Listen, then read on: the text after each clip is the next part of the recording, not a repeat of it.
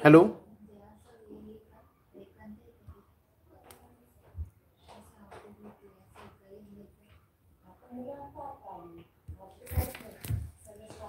Hello good evening all of you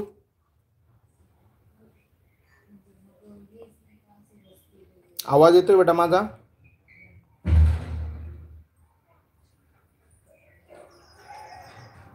Hello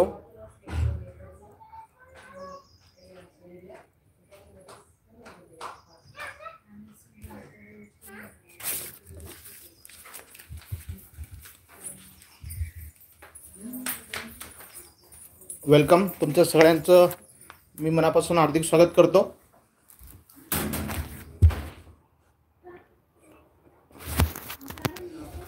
इयत्ता दहावीची बोर्डाची परीक्षा देणारे सर्व विद्यार्थी आज आपण लाईव्ह सेशनच्या माध्यमातून या ठिकाणी ॲक्टिव्हिटी शीट प्रॅक्टिस शीट पाहणार आहोत. याच्या आधी आपण लाईव्ह सेशनच्या माध्यमातून जे काही ॲक्टिव्हिटी शीट नेमकी कशी लिहिली गेली पाहिजे या संदर्भात आपण एक लाईव्ह सेशन घेतलं होतं. आणि त्याच्यामध्ये त्यामध्ये उत्तरपत्रिका कशी असायला पाहिजे या संदर्भात आपण घेतलेलं होतं. प्रत्येक शिक्षण आणि त्या प्रत्येक शिक्षणावर आधारित जे काही प्रश्न असतात जे काही ॲक्टिव्हिटी असतात त्या कशा प्रकारे सॉल्व्ह करायचे ते आपण घेतलेलं होतं. ज्यांनी पाहिलं तो त्या लाईव्ह सेशन तुम्ही अटेंड केलं नसेल तर या आजच्या या लाईव्ह सेशनच्या या व्हिडिओच्या डिस्क्रिप्शन बॉक्समध्ये आपल्याला ती लिंक मी दिलेली आहे. आपल्या सगळ्यांचं पुन्हा एकदा मी हार्दिक स्वागत करतो. आपली ॲक्टिव्हिटी शीट जी आहे ती टोटल ऐंशी मार्काची असेल. पहिला सराव पेपर आपण या ठिकाणी पाहतो इंग्रजीचा. तीन तास आपल्याकडे वेळ असणार आहे. पहिल्या सेक्शनमध्ये लँग्वेज स्टडीवर आधारित त्याच्यामध्ये क्वेश्चन नंबर वन ए आणि बी असे दोन उपप्रश्न आपल्याला विचारतात.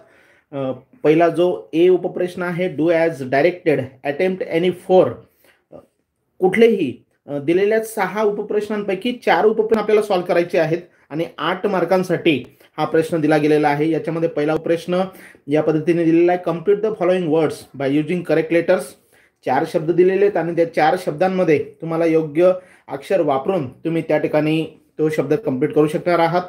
दुसरा उपप्रश्न आहे put the following words in an alphabetical order दोन उपप्रश्न याच्यामध्ये दिलेले आहेत आणि दोघांचं तुम्हाला अल्फाबेटिकल ऑर्डर करायचं आहे.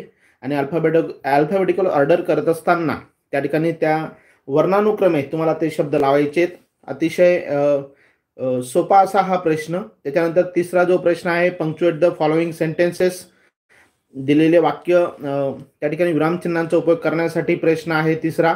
त्यानंतर नंबर फोर चौथा जो उपप्रश्न आहे make four words minimum three letters each using the letters या ठिकाणी तीन अक्षरी कमीत कमी असलेले तीन अक्षर असलेला शब्द म्हणजे कमीत कमी असे चार शब्द आपल्याला तयार करायचे आहेत. परंतु या ठिकाणी मी विद्यार्थ्यांना नेहमी सांगत असतो का चार शब्द न तयार करता एक किंवा दोन एक्स्ट्राचे शब्द आपल्याला तयार करायचे आहेत. Then number five write the related words as shown in the example या ठिकाणी कंट्री हा शब्द दिलेला आहे आणि त्याच्याशी रिलेटेड शब्द डेव्हलप्ड हा एक शब्द दिलेला आहे आणि त्याच्याशी रिलेटेड आपल्याला या ठिकाणी शब्द लिहायचे आहेत. कंट्रीसाठी आपल्याला त्याच्याशी रिलेटेड कंट्रीशी रिलेटेड वर्ड्स त्या ठिकाणी लिहायचे आणि ते वेब आपल्याला कंप्लीट करायची. Then number six complete the word chain of verbs add four words beginning with the last letter of the previous word या ठिकाणी जो शब्द दिलेला आहे स्पीक या शब्दाशी शेवटचं जे अक्षर आहे त्या अक्षराने सुरू होणारा पुढचा शब्द असला पाहिजे. अशा प्रकारची वर्ड चेन आपल्याला व्हर्ब्स क्रियापदां क्रियापद फक्त व्हर्बची ही वर्डचेन आहे. म्हणून आपण जो शब्द लिहिणार आहोत तो व्हर्ब असलं पाहिजे. ही एक महत्त्वाची गोष्ट आपल्याला लक्षात घ्यायची. अशा प्रकारचा हा language स्टडीमधला A question then question B त्यातला जो दुसरा प्रश्न आहे डू ॲज डायरेक्टेड याच्यामध्ये दोन मार्कांसाठी आपला दोन उपप्रश्न विचारले जातात. त्यामध्ये पहिला जो उपप्रश्न आहे अटेम्प्ट एनी वन दोघांपैकी एक आपल्याला सॉल्व्ह करायचा आहे. त्यामध्ये ए दिलेला आहे make meaningful sentence by using the phrase to wish for yes to wish for he phrase तुम्हाला त्या ठिकाणी वाक्यामध्ये वापरायची आणि त्याच्यापासून एक तुम्हाला अर्थपूर्ण वाक्य तयार करायचं आहे. त्याला ऑर बी प्रश्न दिलेला आहे. Add a clause to the following sentence to expand it meaningfully you will get success you will get success हे एक सेंटेन्स त्यांनी दिलेलं आहे. इनकम्प्लीट सेंटेन्स आहे. आणि याला क्लॉज ॲड करून आपल्याला एक मिनिंगफुल सेंटेन्स तयार करायचं ते एक्सपांड करायचं आहे ते वाक्य अर्थपूर्ण वाक्य तयार करायचं आहे मित्रांनो या ठिकाणी लाईव्ह सेशनच्या माध्यमातून मी तुम्हाला क्वेश्चन पेपर प्रॅक्टिस सीट समजून देतोय. ज्यावेळेस तुम्हा तुम्ही या ठिकाणी आता फक्त समजून घ्यायचं आहे आणि जेव्हा तुम्हाला तुम्ही सॉल्व करण्यासाठी तीन तास वेळ काढून सॉल्व करणार आहात त्यावेळेस तुम्हाला त्या ठिकाणी त्याला पॉज करून तुम्ही जो प्रश्न तुम्हाला सॉल्व्ह करायचा आहे त्या ठिकाणी तुम्ही पॉज करू शकता व्हिडिओ आणि तिथून ते सॉल्व करू शकतात. दुसरी एक महत्त्वाची सूचना आपल्याला सगळ्यांसाठी असेल का? जर समजा नेटवर्कचा काही इश्यू असेल किंवा नेटवर्क असूनही जर समा समजा तुम्हाला क्लिअरिटी नसेल व्हिडिओला क्लिअर दिसत नसेल पेजेस किंवा स्क्रीन तुम्हाला क्लिअर दिसत नसेल तर त्यावेळेस तुम्ही वरती बघा त्या व्हिडिओच्या वरती तीन डॉट्स येतात. त्या ठिकाणी सेटिंगमध्ये जाऊन व्हिडिओची जी क्वालिटी आहे रिपोर्ट नंतर दुसरा ऑप्शन असतो क्वालिटीचा त्यामध्ये वन फोर्टी फोर त्यानंतर जे ऑप्शन दिलेले आहेत त्याच्यामध्ये थ्री सिक्स्टी किंवा फोर ट्वेंटी हे जे दोघां फोर एटी यांच्यापैकी एक ऑप्शन तुम्ही निवडा. त्या व्हिडिओची क्वालिटी एक चांगल्या प्रकारे तुम्हाला ते दिसेल आणि कुठलीही अडचण तुम्हाला येणार नाही. म्हणजे एक चांगल्या प्रकारे तुम्हाला ते समजेल. याच्यामध्ये हा जो क्वेश्चन नंबर वन बी आहे लँग्वेज स्टडीमधला डू ॲज डायरेक्टेड याच्यामध्ये दुसरा जो उपप्रश्न आहे त्याच्यामध्ये सुद्धा अटेम्प्ट एनी वन असा एक प्रश्न आहे. याच्यामध्ये ए उपप्रश्न आहे add a prefix or suffix to make new words आता प्रिफिक्स आणि सफिक्स आपल्याला कल्पनाच आहे. का या शब्दांना प्रिफिक्स किंवा सफिक्स जोडून नवीन शब्द तयार करायला सांगितले त्याला ऑर प्रश्न आहे. Make a meaningful sentence using any one of the following words एक मार्कासाठी कंप्लीट आणि लकी हे जे दोन शब्द दिलेले आहेत या दोन शब्दांपैकी एका शब्दाचा अर्थपूर्ण वाक्यामध्ये उपयोग करायचा आहे. या दोघांपैकी एक उपप्रश्न आपल्याला सॉल्व्ह करायचा आहे एका मार्कासाठी. अशा प्रकारे सेक्शन फर्स्ट लँग्वेज स्टडीचा हा जो प्रश्न आहे तो ए आठ मार्काला आणि बी दोन मार्काला दहा मार्कासाठी पहिला सेक्शन आहे. आणि या सेक्शनमध्ये विद्यार्थ्यांना जर तुम्ही चांगल्या प्रकारे आन्सर शीट लिहिण्याचा प्रयत्न केला तर नक्कीच तुम्हाला या ठिकाणी दहापैकी दहा मार्क्स नक्कीच मिळतील. Yes then section number two दुसरा जो सेक्शन आहे textual passage yes textual passage means तुमच्या पाठ्यपुस्तकावर आधारित परिच्छेद या ठिकाणी दिला जाईल. मग याच्यामध्ये तुमच्या पाठ्यपुस्तकातले येतात दहावीचं जे काही पाठ्यपुस्तक आहे त्या पाठ्यपुस्तकातील कुठलेही दोन पॅसेजेस या ठिकाणी दिले जातील. दहा मार्कासाठी तो पॅसेज असेल question number two A read the following passage and do the activities passage आपल्याला वाचायचं आहे काळजीपूर्वक. आणि त्याच्याखाली जे काही ॲक्टिव्हिटीज दिलेल्या असतील ते आपल्याला सॉल्व्ह करायच्या आहेत. या ठिकाणी ॲक्टिव्हिटी नंबर वन दिलेली आहे. Choose the correct alternative and complete the sentences दोन मार्कांसाठी.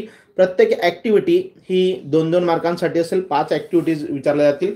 मग या ठिकाणी दिलेलं इनकम्प्लीट सेंटेन्स आहे आणि त्याच्यासाठी चार ऑप्शन्स दिलेले आहेत. पॅसेज जर आपण काळजीपूर्वक वाचला तर त्या पॅसेजच्या मदतीने तुम्ही सहज सहज त्या पॅसेजवर आधारित या ॲक्टिव्हिटीज कंप्लीट करू शकतात. म्हणून या ठिकाणी जे चारही वाक्य दिलेले आहेत सेंटेन्सेस दिलेले आहेत ते आपल्याला काळजीपूर्वक वाचायचे त्यांचे ऑप्शन्स वाचायचे but after reading the passage परंतु ह्या ॲक्टिव्हिटीज सॉल्व्ह करण्याचा प्रयत्न आपल्याला पॅसेज काळजीपूर्वक वाचल्याच्या नंतरच या सॉल्व्ह करायच्यात. हे लक्षात घ्या.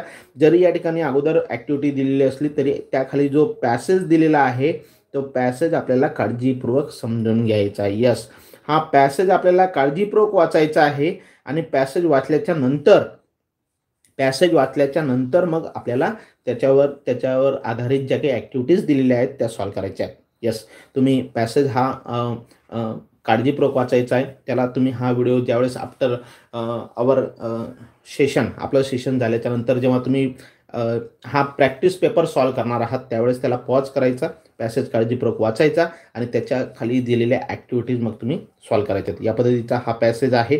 याच्यानंतर याच्यामध्ये पहिली ॲक्टिव्हिटी आपण वरती पाहिलेली जी दिलेली होती यानंतर उर्वरित पॅसेज नेक्स्ट पेजवर दिलेला आहे. या ज्या ठिकाणी पॅसेज काळजीपूर्वक वाचायचं आहे. आता आपल्याकडे तेवढा कमी कालावधीमध्ये मी तुम्हाला पूर्ण जे सर्व प्रश्न आहेत ते समजून देतो आहे आणि नंतर मग तुम्ही ते सॉल्व्ह करू शकतात. कारण प्रश्नपत्रिका ॲक्टिव्हिटी शीट कृतीपत्रिका समजणं खूप महत्त्वाचं आहे आणि कृतीपत्रिका जर तुम्हाला समजली तर तुम्ही त्यावर आधारित ॲक्टिव्हिटीज सॉल्व करू शकतात.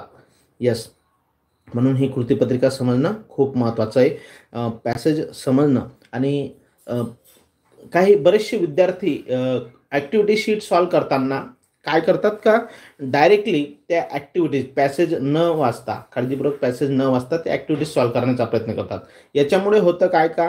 प्रत्येक ॲक्टिव्हिटी सॉल्व करताना तुम्हाला प्रत्येक वेळेस तो पॅसेज पुन्हा पुन्हा वाचावा लागतो. तर असं न करता एकदाच सुरुवातीला आपल्याला एकदा पॅसेज शांत डोक्याने जर तुम्ही वाचलात तर तो तुमच्या लक्षात येईल तुम्हाला समजेल त्याची थीम काय आहे त्याला त्या पॅसेजमध्ये नेमका विषय काय आहे तो तुमच्या लक्षात येईल. आणि जर समजा एकदा वाचल्यानंतर तुम्हाला जर नाही समजला तर पुन्हा तुम्ही तो वाचू शकतात. दुसऱ्यांदा तो काळजीपूर्वक वाचताना त्याच्यावरच्या ॲक्टिव्हिटीज मग तुम्ही सॉल्व्ह करू शकतात. येस त्यानंतर या पॅसेजवर ॲक्टिव्हिटी नंबर टू दुसरी ॲक्टिव्हिटी दिलेली आहे. कंप्लीट द फॉलोइंग वेब एक वेब दिलेली आहे आणि ती वेब तुम या ठिकाणी कंप्लीट करण्यासाठी सांगितलेली. मग या वेबमध्ये विषय दिलेला आहे त्या पॅसेजला अनुसरून Mary Kom's opinion about the future of Indian boxing Mary कॉमचं भारताच्या बॉक्सिंग भविष्याबद्दल त्यांचं मत काय होतं? तर त्या ठिकाणी पहिलं एक सेंटेन्स दिलं आहे according to Mary Kom's opinion the future incomplete sentence आहे. दुसरं पण दिलेलं आहे तर पॅसेज जर काही वाचला असेल तर दोघं ओपिनियन तुम्ही सहज त्या ठिकाणी लिहू शकतात.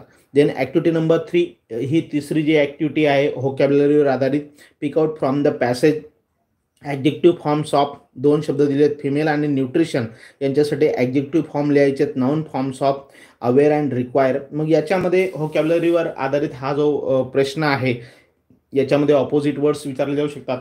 सिमिलर वर्ड्स विचारले जाऊ शकतात. सिनॉनिम्स अँटोनिम्स ऑपोजिट आणि सिमिलर वर्डसाठी पर्यायी शब्द आहेत. त्याच्यानंतर मेक नाउन्स मेक ॲक्जेक्टिव्ज अशा प्रकारचे वर्ड फॉर्मेशनवर आधारित काही प्रश्न या ठिकाणी विचारले जाऊ शकतात. देन ॲक्टिव्हिटी नंबर फोर चौथी जी ॲक्टिव्हिटी असते या ॲक्टिव्हिटीमध्ये it is depend on grammar contextual grammar त्या पॅसेजवर आधारित जे काही ग्रामर असेल त्याच्यावर आधारित सेंटेन्सेस या ठिकाणी दिले जातात. या ठिकाणी प्रश्न आहे आयडेंटिफाय द टेन्स चार वाक्य दिलेली आहेत आणि त्या चारही वाक्यांचा टेन्स आपल्याला ओळखण्यासाठी सांगितलेला आहे. जर तुम्ही त्या टेन्सचे फॉर्म्युलेज तुमचे पाठ असतील तर तुम्ही सहज ते टेन्सचं नाव तुम्ही लिहू शकतात. आन्सर शीटमध्ये आपल्याला प्रश्न लिहायचा नाही सूचना लिहायची नाही फक्त प्रश्नाचा क्रमांक लिहायचा आणि डायरेक्टली त्याचा जो काही उपप्रश्न असेल त्याचा नंबर टाकायचा आणि डायरेक्टली उत्तर लिहायचं आहे. आन्सर शीटमध्ये प्रश्न लिहायचा नाही याच्यासाठी एक बेस्ट नमुना म्हणून मी तुम्हालाच अगोदर जे सांगितलं का याच्या डिस्क्रिप्शन बॉक्समध्ये उत्तरपत्रिका कशी सोडवायची? इंग्रजीची ॲक्टिव्हिटी शीट कशा प्रकारे आपण लिहिली पाहिजे? याच्या याचं सखोल मार्गदर्शन असलेला एक व्हिडिओ त्याची लिंक मी या डिस्क्रिप्शन बॉक्समध्ये दिलेली ती तुम्ही जरूर बघा. त्याच्यानंतर ॲक्टिव्हिटी नंबर फाईव्हमध्ये पर्सनल रिस्पॉन्स याच्याशी स्वमत अभिव्यक्ती ज्याला आपण म्हणत असतो स्वतःचं मत पर्सनल रिस्पॉन्स वैयक्तिक मत आपल्याला या ठिकाणी मांडायचं आहे are you proud of sports woman like Mary Kom तुम्हाला मेरीकॉम सारख्या महिला खेळाडूंबद्दल अभिमान वाटतो का? अँड व्हाय का? तर या संदर्भात तुमचं मत या ठिकाणी तुम्हाला मांडायचं आहे हा जो प्रश्न बरेचसे विद्यार्थी या प्रश्नाकडे दुर्लक्ष करतात. परंतु सर्व विद्यार्थ्यांसाठी म सांगू इच्छितो का हा जो प्रश्न याच्या या प्रश्नाला अनुसरून तुम्हाला तुमचं मत मांडायचं आहे तुमचं उत्तर तुम्ही लिहिण्याचा त्या ठिकाणी प्रयत्न करायचा आहे. तुमच्या शब्दांमध्ये मांडू शकतात पॅसेजच्या मदतीने काही सेंटेन्सेस तुम्ही घेऊ शकतात त्या पद्धतीने लिहू शकतात परंतु याचं उत्तर लिहिणं हे खूप गरजेचं कारण दोनपैकी तुम्हाला या ठिकाणी जर तुम्ही लिहिण्याचा प्रयत्न केला तर आणि हे याचं काही स्पेसिफिक असं काही उत्तर नसतं. वर्गामध्ये जर समजा वीस पंचवीस विद्यार्थी असतील प्रत्येकाचं उत्तर हे वेगवेगळं असू शकतं. म्हणून you will try to write the answer with the help of the question which is as there त्या ठिकाणी जो प्रश्न विचारला गेला आहे त्या प्रश्नाशी रिलेटेड तुम्हाला फक्त उत्तर लिहायचं आहे त्या प्रश्नाचा अर्थ समजून घ्यायचा आणि त्याच्याशी रिलेटेड उत्तर तुम्हाला लिहायचं आहे दोन मार्कांसाठी ही ॲक्टिव्हिटी आहे. त्यानंतर क्वेश्चन नंबर टू दुसरा जो टेक्च्युअल पॅसेज आहे हा सुद्धा तुमच्या पाठ्यपुस्तकाशी रिलेटेड पॅसेज असणार आहे. तुमच्या पाठ्यपुस्तकातला सीन पॅसेज असेल question number two B read the following passage and do the activities for ten marks याच्यामध्ये सुद्धा पहिली ॲक्टिव्हिटी दिली. Complete the following sentences using the information given in the passage पहिली फॅक्च्युअल ॲक्टिव्हिटी असते दोन मार्कांसाठी त्याच्यानंतर दुसरी सुद्धा फॅक्च्युअल ॲक्टिव्हिटी असते. त्यानंतर तिसरी जी ॲक्टिव्हिटी असते activity based on vocabulary then activity number four जी असते activity based on contextual grammar आणि नंतर पाचवी जी ॲक्टिव्हिटी असते ती पर्सनल रिस्पॉन्सशी रिलेटेड असते. फॅक्च्युअलमध्ये ज्या दोन ॲक्टिव्हिटीज आहेत सुरुवातीच्या त्या अतिशय सोप्या असतात. या ठिकाणी सुद्धा इनकम्प्लीट सेंटेन्सेस दिलेले आहेत आणि पॅसेजच्या माहितीच्या साह्याने तुम्हाला ते सेंटेन्सेस कंप्लीट करायचे आहेत. जर पॅसेज काळजीपूर्वक वाचला तर या ठिकाणी हे चार सेंटेन्स दिलेले आहेत आणि हा पॅसेज या ठिकाणी दिलेला आहे. हा पॅसेज जर तुम्ही काळजीपूर्वक वाचला तर नक्कीच तुम्हाला त्या प्रश्नात सहज लिहिता येतील. येस मी या ठिकाणी थोडा व्हिडिओ पॉज करतोय तुमच्याशी त्या संदर्भात बोलतोय. परंतु तुम्ही जेव्हा ॲक्च्युली हा पेपर सॉल्व करणार त्यावेळेस त्याला पॉज करू शकता. तुम्हाला वाचता तो पॅसेज तुम्हाला पूर्ण वाचायचा आहे काळजीपूर्वक. आणि काळजीपूर्वक वाचल्याच्या नंतर समजून घ्यायचा आणि त्याला अनुसरून मग तुम्हाला त्या ॲक्टिव्हिटीज सॉल्व करायच्या आहेत. येस अशा पद्धतीने या ठिकाणी पॅसेज दिलेला आहे. आणि या पॅसेजच्या साह्याने मग लिहायच्यात पहिली ॲक्टिव्हिटी आपण वरती पहिली फॅक्च्युअल ॲक्टिव्हिटीमध्ये इनकम्प्लीट सेंटेन्सेस दिले होते आणि या पॅसेजच्या साह्याने आपल्याला ते कंप्लीट करायला सांगितलेले आहेत. यस नाव दिलेली आहे. बी ॲक्टिव्हिटी कारण हा क्वेश्चन नंबर टू बी आहे. क्वेश्चन नंबर टू एमध्ये आपण A one A two A three A four A five पाहिले. आता क्वेश्चन नंबर टू बीमध्ये B one B two B three B four B five हे आपण पाहणार आहोत. बी टूमध्ये जी ॲक्टिव्हिटी दिली एक wave they'll like complete the following wave with the information from the passage. Passage जर तुम्ही काळजीपूर्वक वाचलेला असेल तर प्रत्येक ॲक्टिव्हिटी सॉल्व्ह करताना तुम्हाला त्याची मदत होणार आहे. Attempt that help that baby langur to review मग या ठिकाणी सुद्धा त्यांनी सेंटेन्सेस दिलेले आहेत ते आपल्याला कंप्लीट करायचे आहेत. त्याच्याशी रिलेटेड जी काही माहिती असेल ती पॅसेजच्या सहाय्याने आपल्याला या ठिकाणी कंप्लीट करायची या आता जी वेब दिलेली आहे अशीच वेब तुम्हाला आन्सर शीटमध्ये काढायची आणि त्या वेबमध्ये ते तुम्हाला कंप्लीट करायचं आहे येस या पद्धतीने वेब ज्या ठिकाणी दिलेली असेल त्या वेबनुसार तुम्हाला ती ॲक्टिव्हिटी सॉल्व्ह करायची आहे.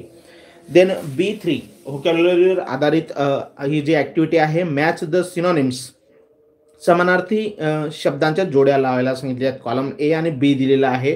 तुमच्या आन्सर शीटमध्ये तुम्ही बी थ्री लिहून डायरेक्टली नंबर वन ट्रॉमा त्याच्याशी रिलेटेड जो काही सिनॉनिम्स असेल समानार्थी शब्द समोर दिलेला बी कॉलममधला तो डायरेक्टली तुम्ही समोर लिहू शकतात. ट्रॉमाशी related coop stir and motionless चार शब्द दिलेले आहेत. त्यांच्याशी संबंधित शब्द तुम्ही डायरेक्ट आन्सर शीटमध्ये लिहू शकतात. Then activity number four do as directed याच्यामध्ये uh, व्याकरणावर आधारित एक uh, ॲक्टिव्हिटी दिलेली आहे कॉन्टेक्च्युअल ग्रामरवर आधारित. मग यामध्ये पहिलं सेंटेन्स दिलं आहे he took the baby langur to our backyard underline केलेला पार्ट आहे आणि frame W H question to get the underline words as an answer underline केलेला जो पार्ट आहे ते उत्तर येण्यासाठी आपल्याला प्रश्न बनवायचा आहे. बरेचसे विद्यार्थी या सूचनेकडे म्हणजे ही सूचना त्यांना समजत नाही. बरेचसे विद्यार्थी त्याकडे थोडंसं म्हणजे जो अंडरलाईन केलेला पार्ट आहे ते उत्तर येण्यासाठी आपल्याला प्रश्न तयार करायचा आहे. हे लक्षात घ्यायचं आहे फक्त प्रश्न आपल्याला तयार करायचा आहे. शेवटी क्वेश्चन मार्कसुद्धा खूप महत्त्वाचा आहे. त्यानंतर दुसरा प्रश्न या ठिकाणी दिलेला आहे. She simply sat there quietly आणि choose the correct question tag and rewrite the sentence using it चार ऑप्शन्स दिलेले आहेत आणि दिलेल्या वाक्यासाठी योग्य क्वेश्चन टॅग आपल्याला या ठिकाणी निवडायचा आहे. मग चार ऑप्शन्स दिले त्या चार ऑप्शन की जो योग्य ऑप्शन असेल तो फक्त आपल्याला आन्सर शीटमध्ये लिहायचा आहे. देन ॲक बी फाईव्ह पर्सनल रिस्पॉन्स या ठिकाणी पर्सनल रिस्पॉन्सवर आधारित एक प्रश्न आहे. How will you help and enjoy bird animal तुम्ही एखाद्या जखमी अवस्थेतल्या पक्षाला किंवा प्राण्याला तुम्ही कशा प्रकारे मदत करू शकाल? मग त्याला मदत करण्या तुम्ही कशाप्रकारे मदत करणार? त्या संदर्भात या ठिकाणी लिहायला त्यांनी सांगितलेलं आहे. जरी या पॅसेजशी रिलेटेड असेल किंवा नसेल तरी तुम्हाला त्या प्रश्नाला अनुसरूनच उत्तर लिहायचं आहे. जर पॅसेजशी रिलेटेड असेल तर पॅसेजमधले काही सेंटेन्सेस तुम्ही त्या उत्तरा आन्सर शीटमध्ये घेऊ शकतात. त्याची मदत होईल किंवा तुमच्या इमॅजिनेशन कल्पनाशक्तीच्या साह्याने तुम्ही त्या ठिकाणी सेंटेन्सेस तयार करून त्याला अनुसरून तुम्ही उत्तर लिहू शकणार आहात. दोन मार्कासाठी पर्सनल रिस्पॉन्स देन तिसरा महत्त्वाचा जो सेक्शन आहे पहिला सेक्शन आपण पहिला लँग्वेज स्टडीवर आधारित दहा मार्कांसाठी. सेकंड दुसरा जो सेक्शन होता तो प्रोजोवर आधारित टेक्च्युअल पॅसेजेस होते दोन दहा दहा मार्कांसाठी. आणि नाव सेक्शन नंबर थ्री जो आहे पोएट्री सेक्शनवर आधारित. पाठ्यपुस्तकातली एक पोएम दिलेली असेल पाच मार्कांसाठी आणि ॲप्रिशिएशनचा एक प्रश्न पाच मार्कांसाठी. अशा प्रकारे दहा मार्कांसाठी दोन उपप्रश्न असतील. Question number three A read the extract and do the activities या ठिकाणी एक्स्ट्रॅक वाचून आपल्याला ॲक्टिव्हिटीज सॉल्व्ह करायला दिलेल्या आहेत. पहिली ॲक्टिव्हिटी या ठिकाणी ऑलरेडी दिलेली कंप्लीट द फॉलोइंग सेंटेन्सेस त्या एक्स्ट्रॅकच्या साह्याने जो काही स्थांगा दिलेला आहे तो वाचून त्याच्या साह्याने आपल्याला हे वाक्य कंप्लीट करायचे आहेत. दोन मार्कांसाठी फॅक्च्युअल ॲक्टिव्हिटी आहे. मग तो पॅसेज तो स्थानजा आपण काळजीपूर्वक वाचू शकतो. पॅसेज स्थान आपल्याला समोर दिसतोय स्क्रीनला या पद्धतीने त्याच्यानंतर पुन्हा त्या ठिकाणी खाली अजून आपल्याला तो पॅसेज यस या पद्धतीचा हा पॅसेज आहे. पूर्ण पॅसेज आपण या ठिकाणी पाहू शकतो आणि तो तुम्ही वाचून काळजीपूर्वक वाचून मग त्याच्याशी रिलेटेड ॲक्टिव्हिटीज आपल्याला सॉल्व करायच्या आहेत. ॲक्टिव्हिटी वन आपण वरती पाहिलेली कंप्लीट द सेंटेन्सेस दोन मार्कांसाठी. त्याच्यानंतर पुढची जी ॲक्टिव्हिटी आहे ती या ठिकाणी यस ॲक्टिव्हिटी नंबर टू दोन मार्कांसाठी. Write any means from the poem you find impossible but humorous write any two lines from the poem. You find impossible. या कवितेतल्या दोन ओढी लिहायच्यात आपल्याला. You find impossible. ज्या अशक्यत बट ह्युमरस ज्याच्यामध्ये विनोद व्यक्त केलेला आहे अशा दोन ओढी आपल्याला कवितेच्या माध्यमातून लिहायच्यात. And activity number three write down two pairs of rhyming words from the extract त्या कवितेच्या त्या एक्स्ट्रॅक्टमधून आपल्याला दोन पेअर लिहायच्यात रायमिंग वर्डच्या आता या प्रश्नामध्ये काही वेळेस आपल्याला रायमिंग वर्ड ॲड करायला सांगितलेला असतो. तर त्यावेळेस तो प्रश्न काळजीपूर्वक वाचायचा आहे. सूचना जशी असेल त्या सूचनेला अनुसरून आपल्याला उत्तर लिहायचं आहे एक मार्कासाठी तो ॲक्टिव्हिटी थ्रीमधला प्रश्न दिलेला आहे. एकूण पाच मार्काचे तीन ॲक्टिव्हिटीज नऊ question number three B appreciation of the poem पाच मार्कांसाठी आपल्याला एक पोयम दिलेली असेल. या प्रश्नामध्ये पोयमचं शीर्षक आपल्याला दिसतंय. पोयम ऑलरेडी या ठिकाणी दिलेली आहे. पोयम आपण काळजीपूर्वक वाचून घेऊ शकतो. शेवटी बघा पोएम एंड झाल्याच्यानंतर कवीचं नावसुद्धा दिलेलं आहे आणि नंतर मग त्या क त्याच्यावर आधारित जे काही प्रश्न या ठिकाणी दिलेले आहेत जे काही मुद्दे दिलेले आहेत त्या मुद्द्यांच्या सहाय्याने आपल्याला त्या कवितेचं रसग्रहण करायचं आहे ॲप्रिशिएशन करायचं आहे पहिला मुद्दा आहे टायटल ज्याला हाफ मार्क्स दिला जातोय. आता या प्रश्नामध्ये आपण कविता पाहिली त्या कवितेवर वरती शीर्षक आपण पाहिलं ते शीर्षक फक्त आन्सर शीटमध्ये आपल्याला लिहायचं आहे किंवा कम एक मिनिंगफुल सेंटेन्समध्ये जरी लिहिलं the title of the poem is आणि त्या कवितेचं शीर्षक लिहिलं तरी सुद्धा चालणार आहे. Name of the poet Robert Frost लिहिलं तरी चालेल किंवा the name of the poet is Robert Frost असं लिहिलं तरी चालेल. राईम स्कीम आता राईम स्कीम कशा पद्धतीने लिहायची हे आपल्याला चांगल्या प्रकारे माहिती आणि जर समजा विद्यार्थी मित्रांनो यातला मी फक्त तुम्हाला क्वेश्चन पेपर समजून देतोय. प्रॅक्टिस पेपर जो आहे तो क्वेश्चन्स तुम्हाला फक्त समजून देतोय. कारण ही हा प्रॅक्टिस पेपर तुम्हाला उद्या सॉल्व करायचा आहे. आणि याची मदत तुम्हाला होणार आहे. आणि जर समजा यापैकी कुठल्याही प्रश्नाची तुम्हाला अडचण येत असेल तर याच्या डिस्क्रिप्शन बॉक्समध्ये आन्सरशीट कशी सॉल्व करायची त्या संदर्भात आणि उत्तरपत्रिका आपली कशी असली पाहिजे त्या संदर्भातला एक लिंक त्या व्हिडिओची लिंक मी या डिस्क्रिप्शन बॉक्समध्ये शेअर केलेली. ती तुम्ही काळजीपूर्वक पाहून प्रत्येक प्रश्न कशा पद्धतीने लिहिला गेला पाहिजे ते तुम्ही त्या ठिकाणी पाहू शकतात. राईम स्कीम तिथून लिहायची आपल्याला पाहून then figure of speech any one या कवितेमध्ये जे फिगर ऑफ स्पीच असतील आलेले त्यापैकी कुठलाही एक फिगर ऑफ स्पीच लिहिला तरी तुम्हाला त्या ठिकाणी एक मार्क्स मिळणार आहे. And theme central idea in two to three lines. दोन किंवा तीन ओळींमध्ये या कवितेची मध्यवर्ती कल्पना तुम्हाला लिहायची तुमच्या शब्दांमध्ये किंवा त्या कवितेच्या साह्याने तुम्ही ती लिहू शकतात. अशा प्रकारे पाच मार्कांसाठी पाच पॉईंट्स पाच मुद्दे या ठिकाणी आपल्याला सॉल्व करायचे आहेत. देन सेक्शन नंबर फोर चौथा जो सेक्शन आहे नन टेक्च्युअल पॅसेज यस आतापर्यंत आपण तीन सेक्शन्स पाहिले. पहिला सेक्शन दहा मार्काचा होता language study then section number two प्रोजवर आधारित वीस मार्काला दोन सीन पॅसेजेस टेक्च्युअल पॅसेजेस पहिले आपण आणि then section number three poetry section जो होता तो दहा मार्काला आपण पहिला. आता सेक्शन नंबर फोर जो आहे non tech non textual passage हा अनसीन म्हणजेच आपल्या पाठ्यपुस्तकातल्या बाहेरचा परिच्छेद असेल दहा मार्कांसाठी question number four A read the following passage and do the activities ten मार्क्ससाठी मग यामध्ये एक पहिली ॲक्टिव्हिटी दिलेली आहे. ज्या पद्धतीने आपण सीन टेक्चर पॅसेजमध्ये ॲक्टिव्हिटीज पाहिल्या तशाच पाच ॲक्टिव्हिटीज या ठिकाणी आपल्याला सॉल्व्ह करायच्या आहेत. पहिली ॲक्टिव्हिटी आहे factual activity complete the sentence by selecting from the alternatives पर्याय दिलेले आहेत आणि योग्य पर्याय आपल्याला निवडून ती ॲक्टिव्हिटी ते सेंटेन्स कंप्लीट करायचे. त्याच्या आधी मात्र आपल्याला चार सेंटेन्सेस या ठिकाणी दिले त्याच्या आधी आपल्याला तो परिच्छेद काळजीपूर्वक वाचून घ्यायचा तो पॅसेज आपल्याला काळजीपूर्वक समजून घ्यायचा पॅसेज जर तुम्ही काळजीपूर्वक वाचला तर you can solve all activities easily तुम्ही सहजपणे त्यांची उत्तरं तुम्ही लिहू शकतात. And if you don't read or you don't read the passage carefully जर तर तुम्ही काळजीपूर्वक पॅसेज परीक्षेत वाचला नाही तर मात्र तुम्हाला प्रत्येक वेळेस प्रत्येक सेंटेन्स प्रत्येक क्वेश्चनच्या वेळेस तुम्हाला तो पॅसेज पुन्हा पुन्हा वाचणंच वाचणं आहे. त्याच्यामुळे अगोदरच आपण तो पॅसेज काळजीपूर्वक वाचून घ्यायचा. जर पॅसेज काळजीपूर्वक वाचला असेल तर प्रश्न वाचल्याबरोबर त्याचं उत्तर तुम्हाला त्या ठिकाणी सहज तुमच्या लक्षात येईल कुठे आहे कुठल्या त्या पॅसेजमध्ये म्हणून पॅसेज काळजीपूर्वक वाचणं खूप महत्त्वाचं आहे. यस या ठिकाणी पॅसेज आपल्याला समोर स्क्रीनला दिसतोय. तो पॅसेज तुम्ही वाचू शकतात.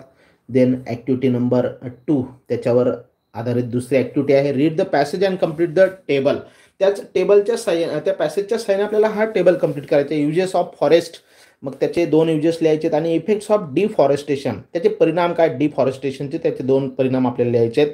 पॅसेजमध्ये सर्व उत्तरं आहेत ती तुम्ही इथं लिहू शकता. Activity number three find words from the passage which mean the following similar meaning words आपल्याला शोधून लिहायचे आहेत. पहिला शब्द आहे नॉट आर्टिफिशियल दुसरा आहे can not be seen cruelly and danger चार शब्द आहेत यांचे समान अर्थाचे शब्द त्या पॅसेजमधून तुम्हाला शोधून लिहायचे आहेत. ॲक्टिव्हिटी फोरमध्ये ग्रामरवर आधारित सेंटेन्सेस दिलेत. पहिलं वाक्य दिलं lakhs of saplings are planted redid beginning with the they with they they या शब्दाने सुरू होणारं ते सेंटेन्स आपल्याला तयार करायचं आहे.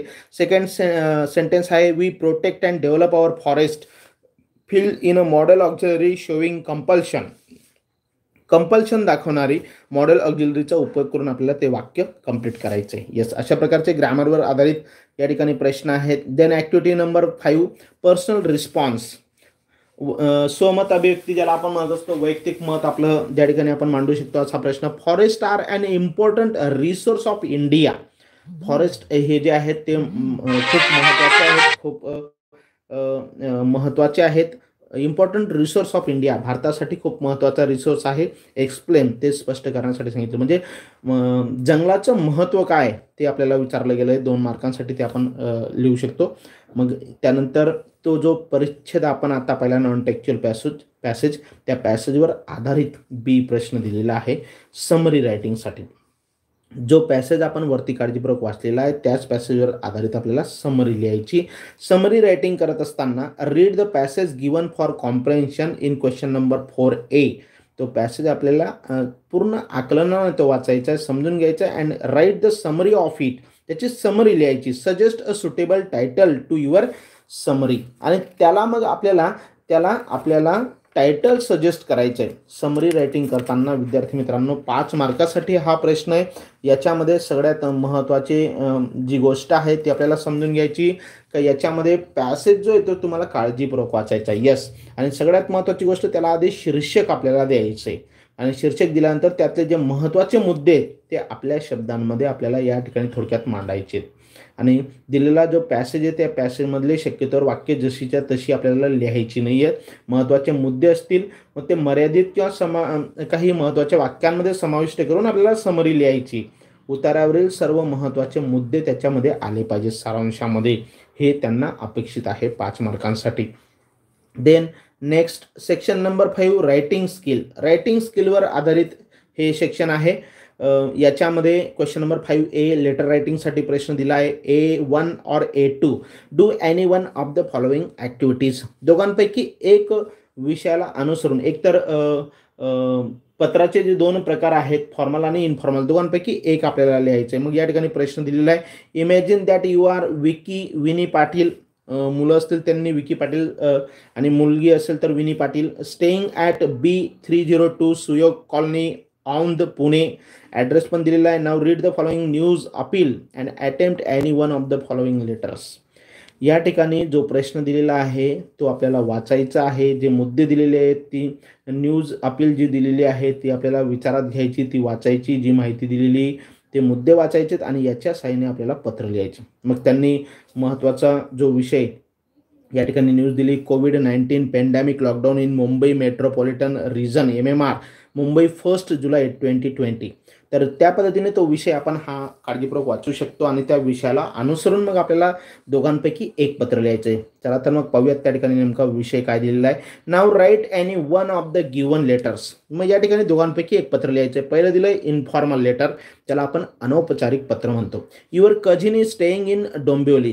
तुमचा कझिन हा डोंबिवलीमध्ये राहतो. Write a letter to him her to advise him her to take certain precautions to avoid COVID nineteen you can add your own points. तुमचा कझिन डोंबिवलीमध्ये राहतोय आणि कोविडची परिस्थिती उद्भवलेली आहे त्याला तुम्हाला ॲडवाईस करायचा आहे सल्ला करायचा आहे कोविड नाईन्टीनपासून बचावात्मक किंवा स्वतःची सुरक्षा कशा प्रकारे करायची त्याला प्रतिबंध म्हणून आपण प्रिकॉशन्स कसे घेतले पाहिजे त्या संदर्भात त्याला पत्र लिहायचे आणि दुसरं जे त्याला ऑर आहे फॉर्मल लेटर औपचारिक पत्र write a letter to the chief minister मुख्यमंत्र्यांना पत्र लिहायचं आहे government of Maharashtra to thank for taking such an initiative to control covid nineteen pandemic in M M R region मग शासनाने ज्या काही उपाययोजना लाभल्या या ठिकाणी लादलेल्या आहेत किंवा ज्या काही उपाययोजना केलेल्या आहेत त्याच्यामुळे ती कोविड नाईन्टीनची जी पॅन्डेमिक सिच्युएशन होती ती नियंत्रणात आलेली कंट्रोलमध्ये आलेली आहे आणि त्याच्याबद्दल आपल्याला त्यांचे आभार मानणारं पत्र या ठिकाणी लिहायचे. दोघांपैकी एक प्रश्न आपल्याला या ठिकाणी सॉल्व्ह करायचा आहे. Then question number five B dialogue writing or drafting a speech दोघांपैकी एक पाच मार्कांसाठी.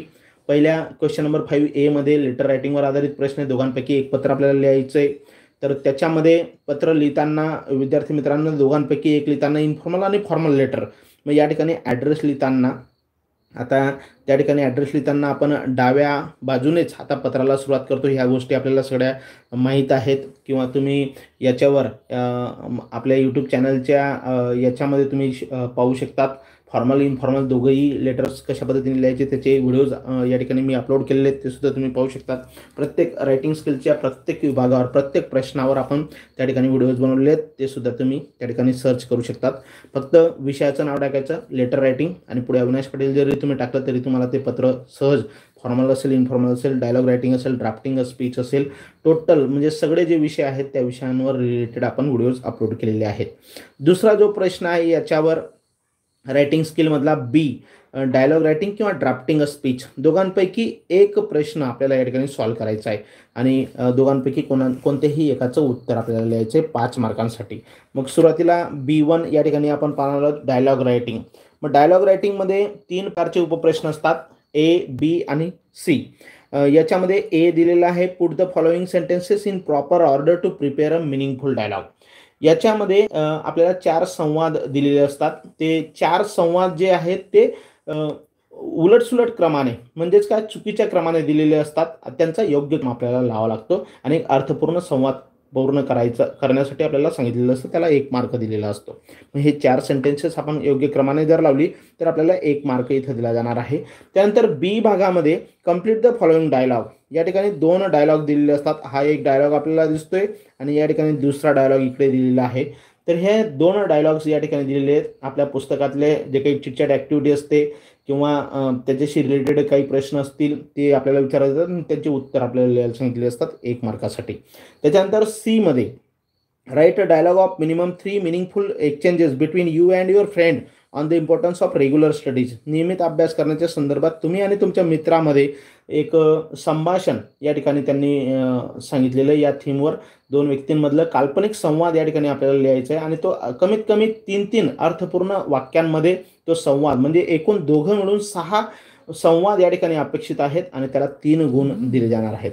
किंवा याच्यानंतर मग दुसरा जो याला ऑर आहे ड्राफ्टिंग अ स्पीच स्पीचमध्ये या ठिकाणी स्पीच आपल्याला डेव्हलप करायचं आहे स्पीच लिहिण्यासाठी या ठिकाणी प्रश्न आहे विषय दिलेला आहे.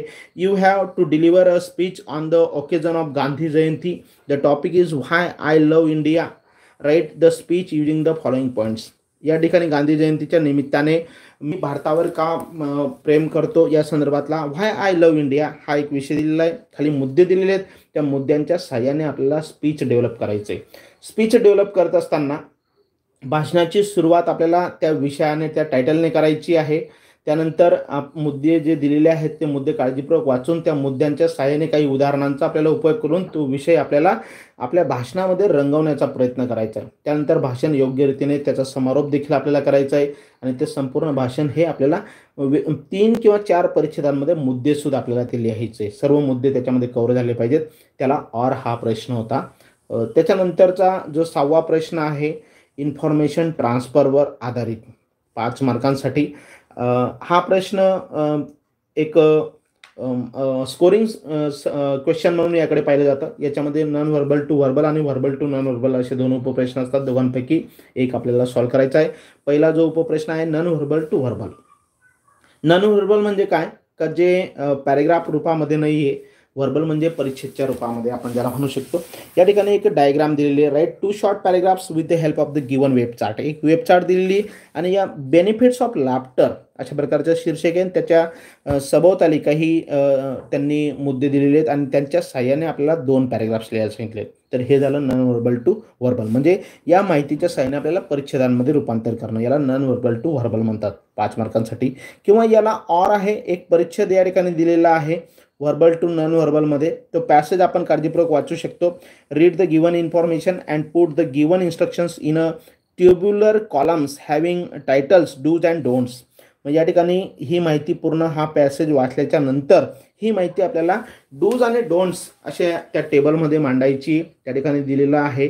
बघा हाऊ टू यूज एस्केलेटर तर ते डूज आणि डोंट्स कोणत्या गोष्टी आपण करायला पाहिजेत आणि कोणत्या गोष्टी करायला नकोत? तर हे दोन्ही पाच पाच सेंटेन्सेस आपल्याला या पॅसेजच्या साईने इथं लिहायला त्यांनी सांगितलेलं आहे पाच मार्कांसाठी.